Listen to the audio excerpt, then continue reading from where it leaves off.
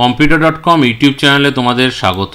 তা বন্ধুরা, তোমরা দেখছ তোমাদের প্রিয় YouTube channel computer dot com আজকে বন্ধুরা, একটি ঘূর্ণিঝড় মোর্চা যেটা নিয়ে এখন এই মুহূর্তে জারি হলো সতর্কতা, এই নিয়ে আজকে আমরা তোমাদের সাথে আলোচনা করব।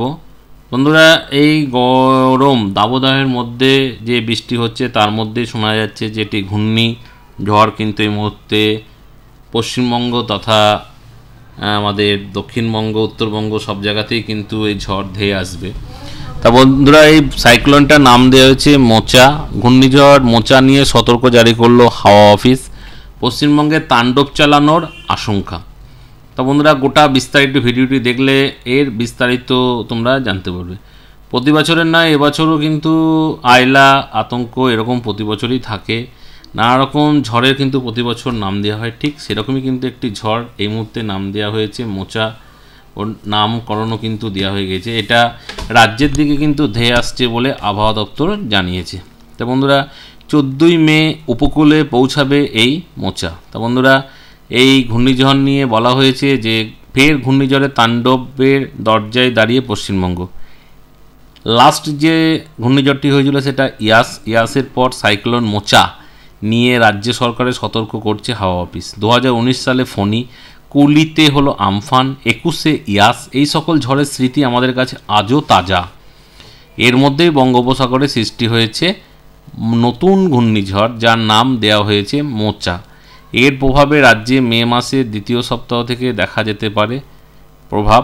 উড়িষ্যার পাশাপাশি পশ্চিমবঙ্গ এই ঝড়ের প্রভাব পড়বে বলে মনে করছে আবহাওয়াবিদরা।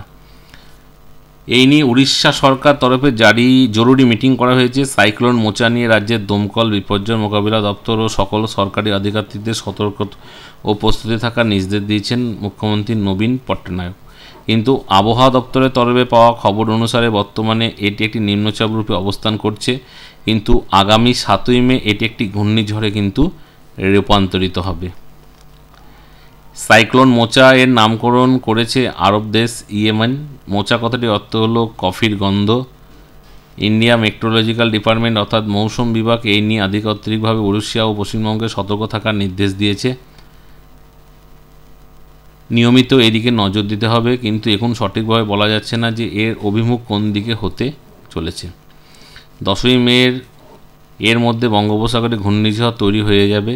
এখানকার আপডেট অনুসারে এই ঝড়ের অভিমুখ উড়িষ্যা ও পশ্চিমবঙ্গের দিকে রয়েছে। কিন্তু কিছু আওয়াবিদদের মত অনুসারে অবস্থার পরিবর্তন হলে এটি বাংলাদেশেও চলে যেতে পারে। চোদ্দোই মে এটির ল্যান্ডফল অর্থাৎ ভূপৃষ্ঠে এসে পৌঁছাবে, কিন্তু এর বেশি প্রভাব উড়িষ্যাতেই পড়তে চলেছে। কিন্তু পশ্চিমবঙ্গ সরকারের তরফে সকল উপকূলবাসী, নাগরিকদের সাইক্লোন মোচার হাত থেকে বাঁচানোর জন্য নিরাপদ স্থানে সরিয়ে আনা হচ্ছে। এছাড়াও দশ তারিখের পর থেকে সকল মৎস্যজীবীদের সমুদ্র যেতে নিষেধাজ্ঞা জারি করেছে। ঘন্টায় একশো চল্লিশ কিলোমিটার বেগে উপকূলে আছড়ে পড়বে।